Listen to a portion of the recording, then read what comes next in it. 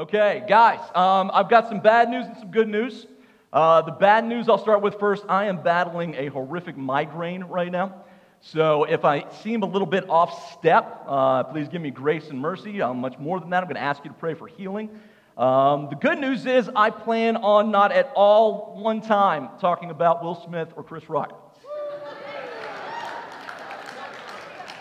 Other than to say, Rock should have just clocked that guy and gone, gone full blown fisticuffs. I'm, that's it. That's it. I'm done. I'm done. okay, let's just jump right into it. We want to leave sufficient time for uh, taking communion together at the end. I'm going to give you a little bit of, of background on where we've been. We rounded a really interesting and fun corner last week in, in the book of Romans. Uh, Romans 6, 1 through 4 is what we went over. What shall we say then? Are we to continue in sin that grace may abound? By no means. How can we who have died to sin still live in it? Do you not know that all of us who have been baptized into Christ Jesus were baptized into his death? We were buried, therefore, with him by baptism into death, what we saw this morning, in order that just as Christ was raised from the dead by the glory of the Father, we too might walk in newness of life. Last week, we started tackling this persistently problematic question that has been in Christendom forever. It goes a little something like this How deep is the grace of Jesus? How all encompassing is his forgiveness for us? The greater context that that is asked in, if we're honest with ourselves, is how much can I really get away with if I'm forgiven by the blood of Jesus Christ? How, how, how much of a lifestyle change is required of me if I have become a follower of Jesus Christ. Um, our responses to that can be kind of funky, right? Well, we talked last week about a, a swing to this side of the pendulum, antinomianism, which is okay, if the grace of Jesus Christ is so abundant, and so abound, we get to do whatever we want. Antinomianism means no law, literally no requirements, no law, no checklists, no nothing. And then the religious people swing all the way over to this side where we go, well, I'm really nervous about this whole grace abusal thing. So what I'm going to do is I'm going to take God's laws, which are, you know, yeah, undeniable. They're there, they're clear, they're written in stone. But I'm going to add my own laws onto them as well to make sure that we don't have grace abusers. And we get downright silly about those things. Remember, we opened up the floor to, to talk about that last week, and some of the, the churchy, weird requirements are like no dancing, you know, because God doesn't like rhythm for some reason, I guess. Uh, no rated R movies unless they're about the crucifixion of Jesus Christ, and then we're confused. Uh, no drinking, no smoking, no tattoos. All of these things, well, whether or not you agree with them or not, we have to admit that our pendulum swings over to the other side of in order to not get grace abusers, let's build structures around behavior. And what we started talking about last week in the verses that we just read is that Paul's response to that is you're missing the point. The point is this if you are in relationship with Jesus, you will change. If you are in relationship with Jesus, you will change. On the screens, my main quote from last week the primary motivation for Christian holiness is not fear of what God is going to do to me but love because of what God has done for me. Read it again. The primary motivation for Christian holiness is not fear of what God is going to do to me, but love because of what God has done for me. We ended last week with talking about the fact that we are forgiven and cleansed if we have encountered the blood of Jesus Christ. And why those two things are important is forgiveness is by very nature, the salvation. But then cleansed is the power to walk in newness of life. We are forgiven and then cleansed. I read it this way Paul's main point in this passage is this we don't want to abuse God's grace once we have the relationship, but we want to use God's grace so we can have the relationship. I should have put that one on the screens. That's a good one. I'll read it again. We don't want to abuse God's grace once we have the relationship with Him but we want to use God's grace so we can have the relationship. the question needs to be answered in every life that God has given this world. What am I going to do with Jesus? And if I want to step into relationship with Jesus, is there evidence of the fact that I've done that? The evidence is not a list of rules. The evidence is not check this box, check this box, you're good to go. The evidence is are you growing? Do you have a desire to change? So we're going to jump into this passage a little bit more today. And I'm going to pray over us because this, this has historically been a very difficult lesson to absorb for Christianity, for just evangelicalism across the board. Like, we have a hard time really reconciling where we land on this requirement thing when it comes to holiness. Listen, we've disagreed about this so much that there have been denominations formed around our interpretations of these verses. Denominations that we cannot agree with one another. And I believe it's a whole lot more simple than what we make it. I believe that this is actually a, a beautifully empowering lesson if we can grasp it. Because I'm going to say it again we need the grace of God in this place. I need the grace of God to be able to live the life that I'm supposed to live. I cannot white knuckle behavior modification hard enough to be good enough. I will fail immediately. But if I grasp the fact that I live under the grace that empowers me, then all bets are off. Then change has occurred. Then I get to walk in the newness that the Word of God just promised me. So let me pray over us. God, I ask right now for a deep opening up of our spirits today. I ask God, let me be selfish right out of the gate. I need you to touch my head. God, I need you to help me get this deep and, nuanced point across, God, in a way that's, that's digestible and understandable. And God, I, I feel like I'm getting pushed back in the spirit and the physical as well. So, God, step in and let your voice be heard through me today. And then, God, I pray that you would open up our hearts, Jesus. Maybe there are people in this room right now that you want to set free into a life of power now, into a life of finally being clicked in with this equation that gives them the audacity to believe that they can put sin to death. God, I pray that that gets revealed in these next few minutes, God. Holy Spirit, have your way. Speak to us through your word, through your revelation. In the matchless name of Jesus Christ, I pray. Amen. Romans 6, 5 through 11. For if we had been united with him in a death like his, we shall certainly be united with him in a resurrection like his. That's awesome news. We know that our old self was crucified with him in order that the body of sin might be brought to nothing, so that we would no longer be enslaved to sin so that we would no longer be enslaved to sin. For one who has died has been set free from sin. Now, if we have died with Christ, we believe we will also live with him. We know that Christ, being raised from the dead, will never die again. Death no longer has dominion over him. For the death he died, he died to sin once for all. But the life he lives, he lives to God. So you also must consider yourselves dead to sin and alive to God in Jesus Christ. Okay. Why are we not bouncing off the walls right now? Now, I know it's a little bit awkward in the room right now. Like, Pastor's admitted that he's got a bad headache. We're kind of nervous for him. Let it go, all right? If I mess up my words, I mess up my words. We are talking about the truth of Jesus Christ. Why are we not bouncing off the walls right now? Okay, do you realize what this Bible just said to us? Do you realize it just said, listen, your old man, gone, done, dead. Not only that, you get to live in the power of Jesus Christ. The Word of God also tells us that. The same power that raised Christ from the dead lives in me now. Everything is under my feet. Everything is under my feet.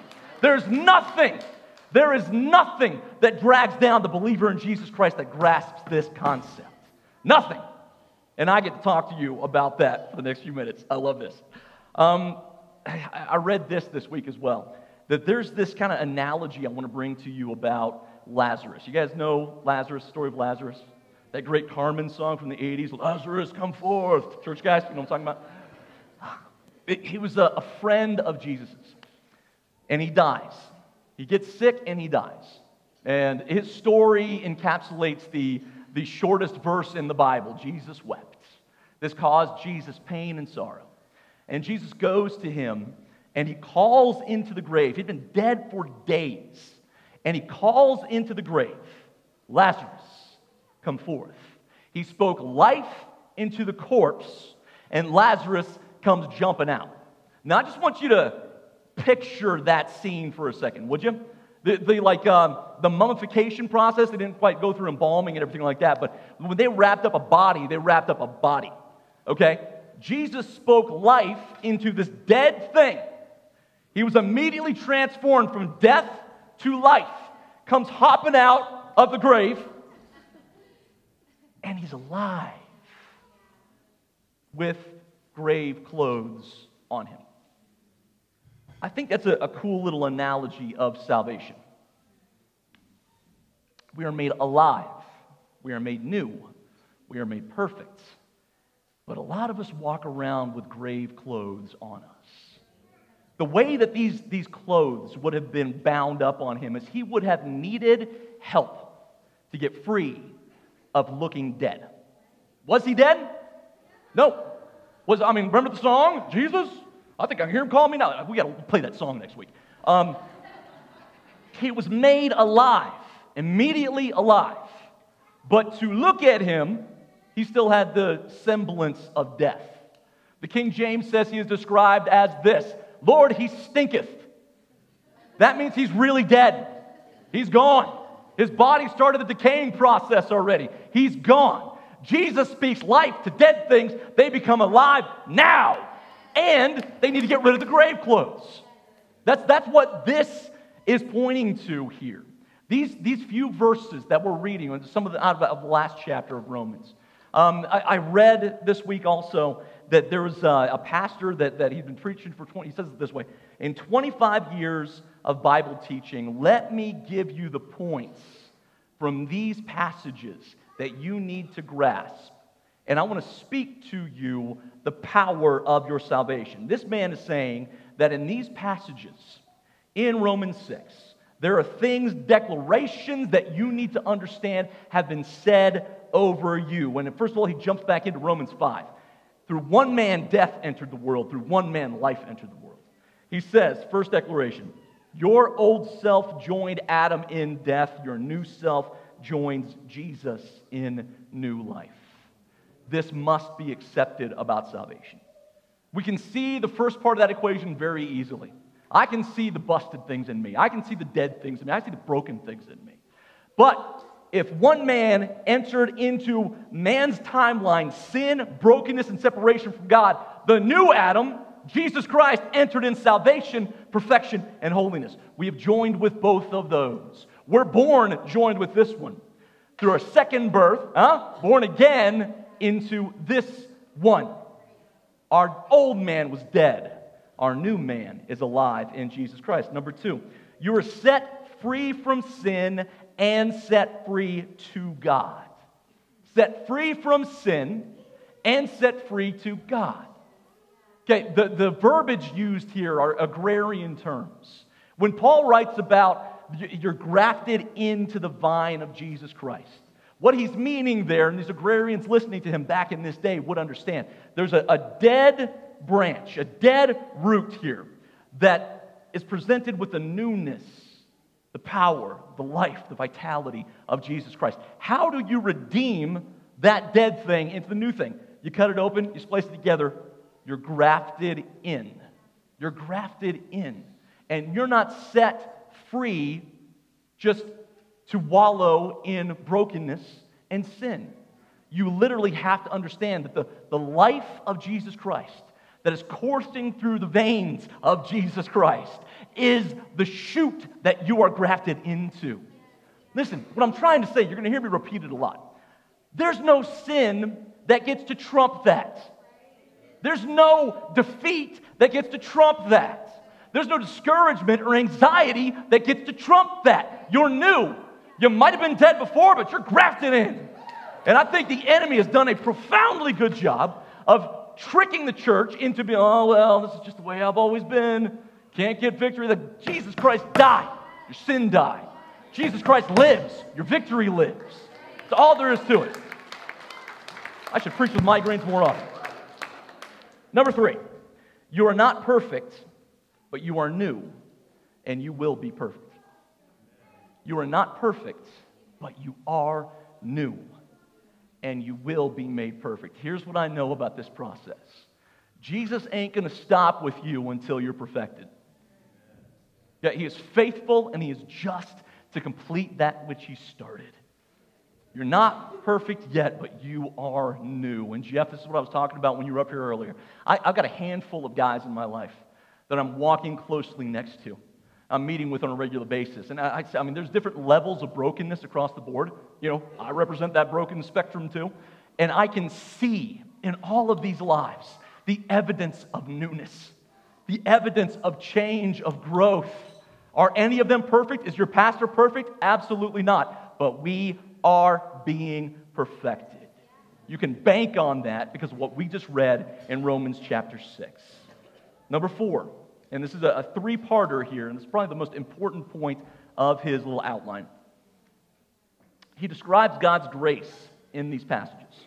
And he says, God's grace does three things for you it forgives you, it changes your nature, and it changes your desires.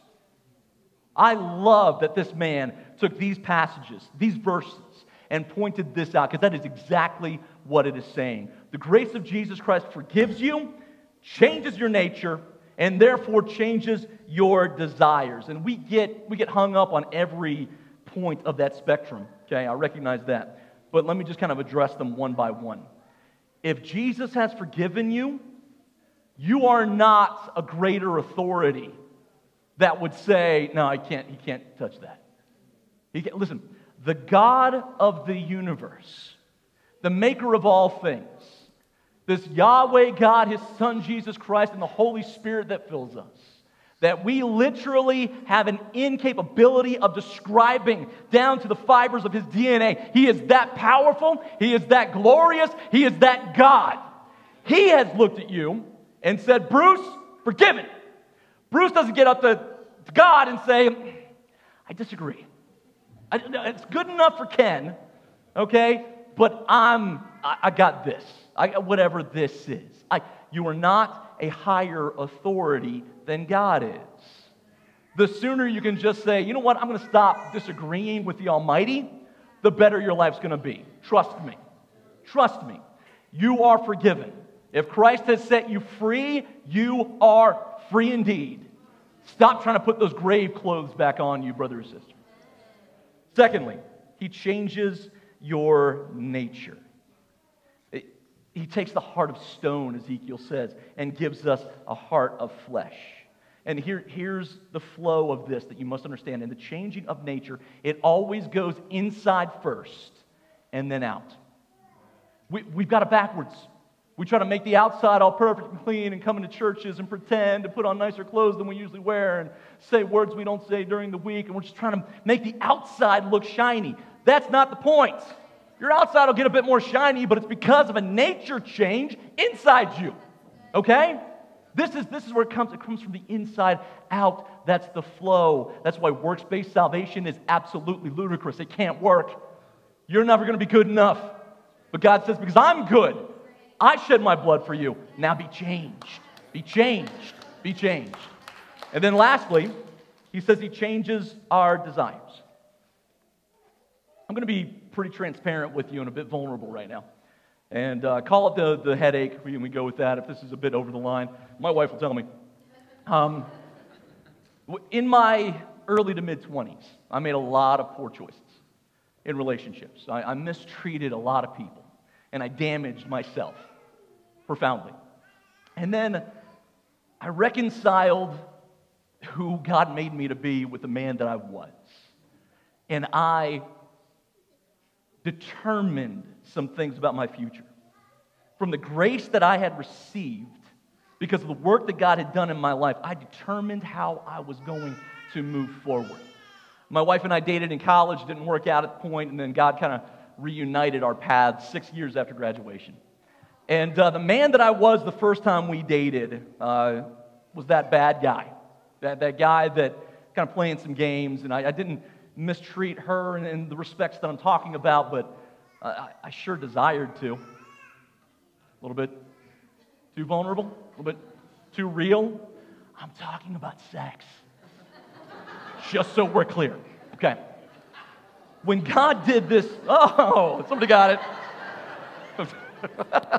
Stop being so cryptic, Ken. What do you mean?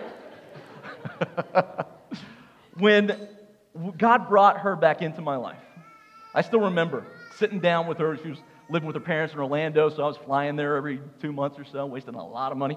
Not wasting, investing, investing. Headache, medication.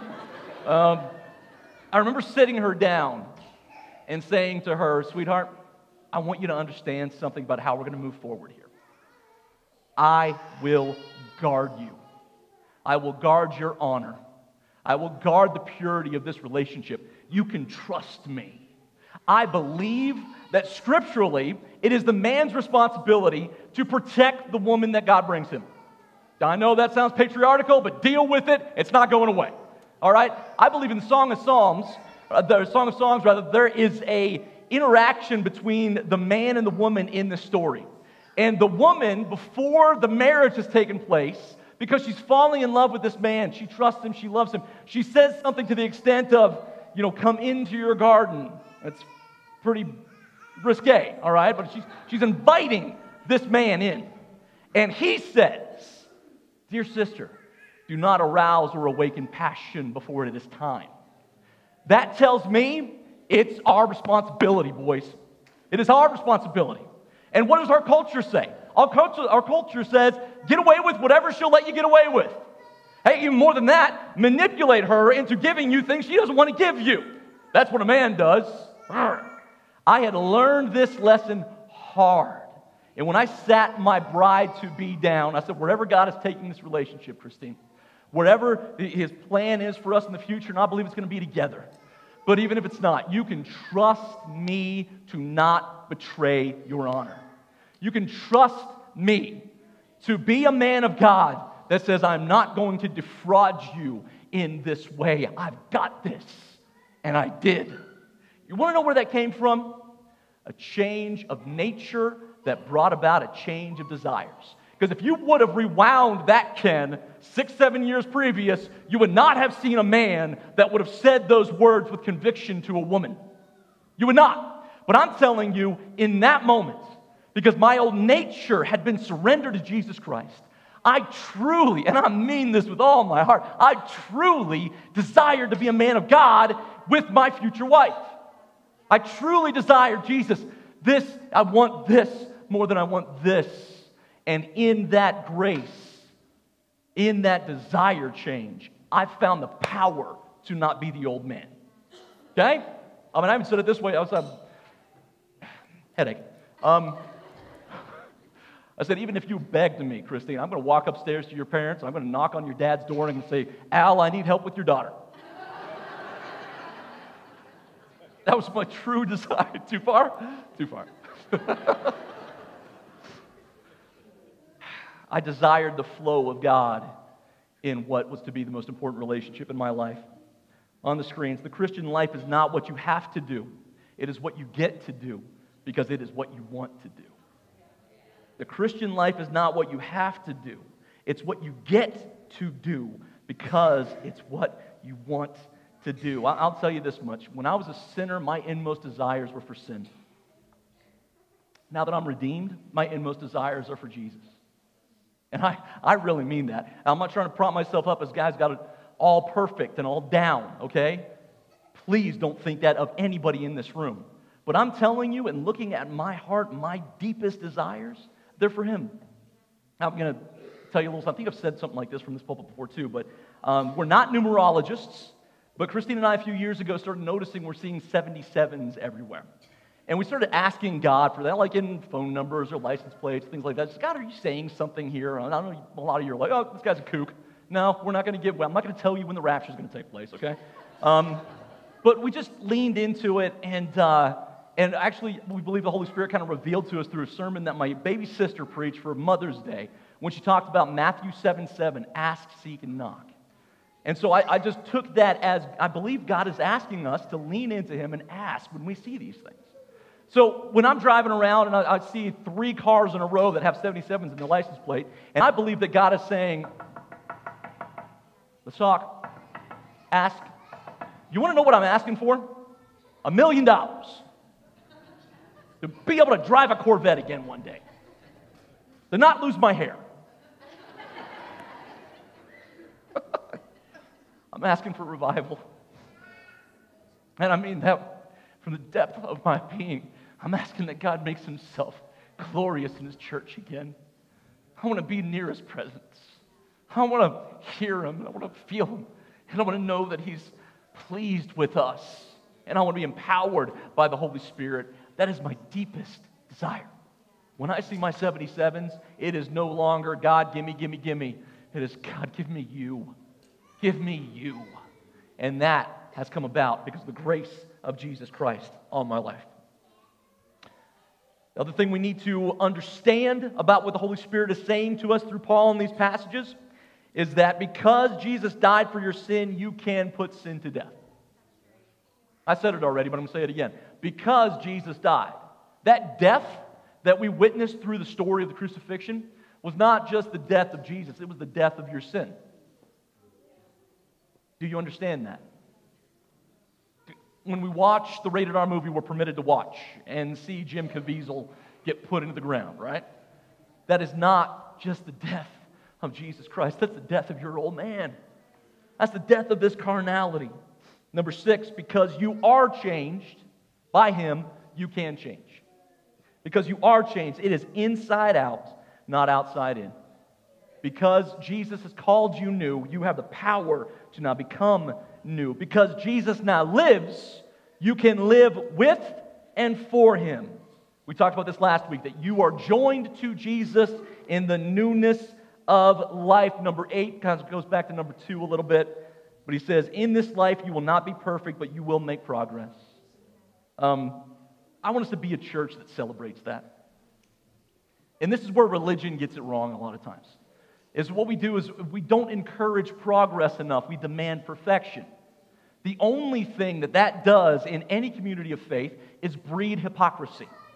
Because we're not going to get there. That's already been established. Heck, just look at yourself in the mirror. You know that's not going to, you're not going to wake up perfect tomorrow. But you'll wake up better and be better the day after that. And even if you take a step or two back, you'll be better again and better again and better again. We need to celebrate progress and never demand perfection. I, I remember, uh, it's been a while now, uh, laying in my bed, and Christine was downstairs teaching piano, and I had the, the babies up with us, and they're right around that starting to walk phase uh, that just made my relaxation completely different, right? I mean, there's a progressive baby proofing of the house over and over and over. Uh, this was the beginning of it. I'm laying in bed and they're playing around on the floor. And from my vantage point, I'm laying there and I can just kind of barely see where Olivia, my daughter's head, would be. And she'd started doing this, uh, this like, you know, crawling up on walls and like moving along the bed or the dresser or something like that. And she, I, I swear she planned this. Like I'm laying there, I'm watching her climb up the wall, and she's looking at me with this big smile on her face. And she lets go of the wall and teeters toward the bed, and takes two steps and falls down. I, my joy knew no bounds. I jumped up like, Olivia, yes, what's amazing.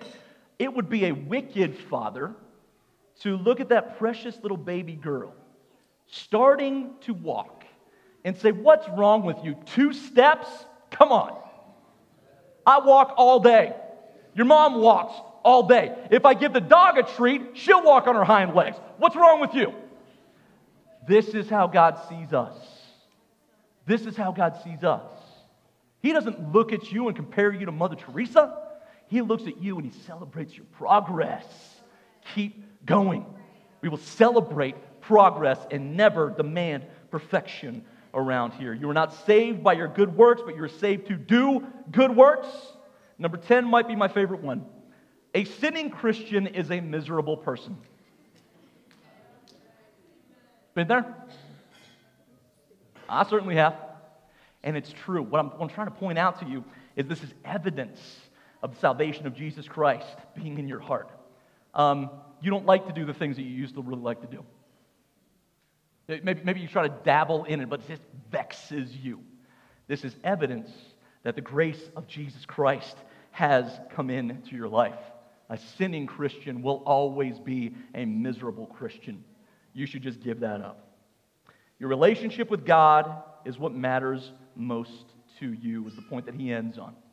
Um, one of the things that I love about working for a church is the ability to be near this room often, and even very recently. I remember coming in here and I was, you know, nothing big going on in my life, but just like really desiring to be with the Holy Spirit. And I walked into here and I just had those the, the words of the Kari Jobe song, The More I Seek You, going through my head. The more I seek you, the more I find you. I want to sit at your feet and drink the cup from your hands. I want to lay back against you and breathe and feel your heartbeat. If you have these desires inside of you, the Holy Spirit of God is contending with you. That is evidence that Jesus Christ has made you new. And so many of you out there are saying, I, I, I, think I can relate to that. What I'm telling you is right now, because of what we just read in, in Romans, that this is the Holy Spirit of God saying, lean into it. Lean into it. Have you guys ever had that desire to just be near God? I just, I just want to, I just want to feel Him. I just want to be close to Him. I want to hear His voice. This is the grace of God. Don't tell me that you can't overcome your sin if you have that emotion.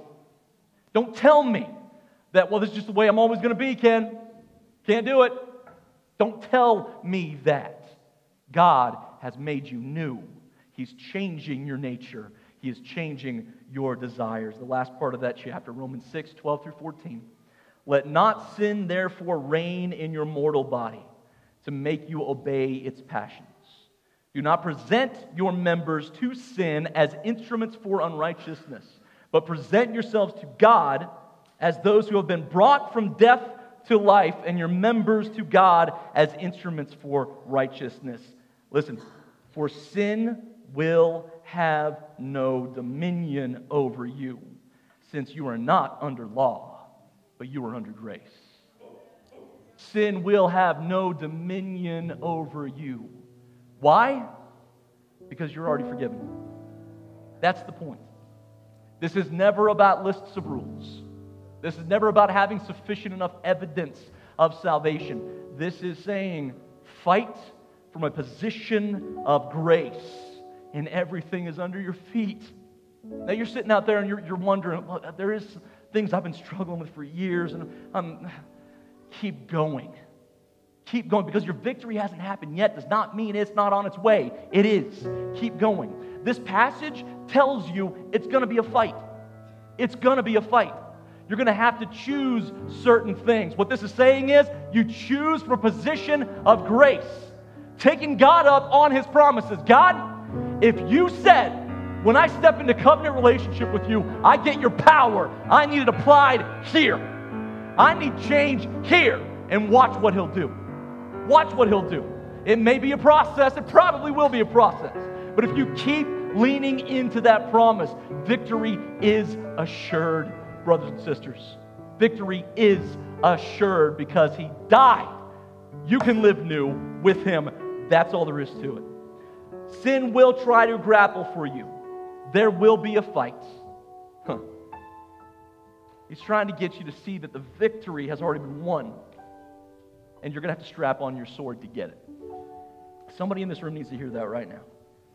Somebody in this room needs to hear maybe you're teetering on the brink of that. You know what? I give up. I give up. This thing has been a giant in my life for so long. This, this tendency, this proclivity, this desire, this yearning, this going back to the trough over and over and over again. And you're, you're right at that breaking point of saying, This is my identity. This, this is who I am. I'm this. And Jesus is saying, That's who you used to be. I've made you new. Take off the grave clothes. That's who you used to be. And make the deliberate effort to present your body from a position of grace to the will of Jesus Christ.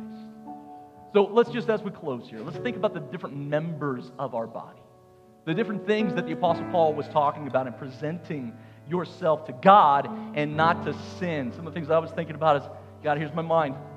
Here's my mind. I present my mind to you, and I'm asking you to make it holy. Renew my mind. Renew my mind in a way that overtakes me, Jesus. Take these hands, these hands that are so prone to, to do wicked deeds and bring harm. Take these hands and make them instruments of blessing, of kindness, of love. Jesus, take these feet. Let them not lead me into wicked places, but keep me far from them and bring me into your presence. Take these feet, take these eyes. God, these eyes that are so prone to look at things that I know I shouldn't be seeing. I want to look with earnest intent on holy things. Keep me pure.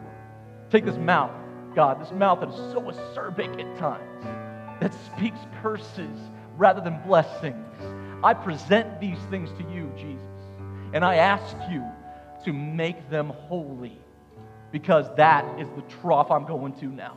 It's not one of sin and brokenness, but one of holiness, perfection, and virtue. Jesus, help us understand here today, God, that this is a victory that's already been won, and we have no business being trounced by sin anymore because we, what you've said you've put inside of me. I'm going to invite the people that are going to hand out communion. Let's come over here and start passing those out.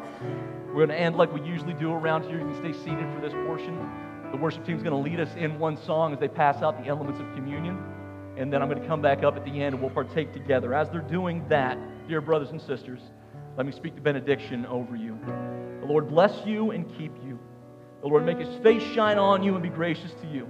The Lord turn his face towards you and give you peace. May you truly embrace the fact that God has forgiven you, period. May you see the battles that still rage within you through the lens of the victory of Jesus' death, burial, and resurrection. May you plug into the power source of the Holy Spirit as your nature and your desires are being changed. May you present the members of your body to the purposes and function of the Lord Jesus and see your destiny lived out in a way that blows your mind. May sin never have dominion over you, dear child, because you live under grace. Amen.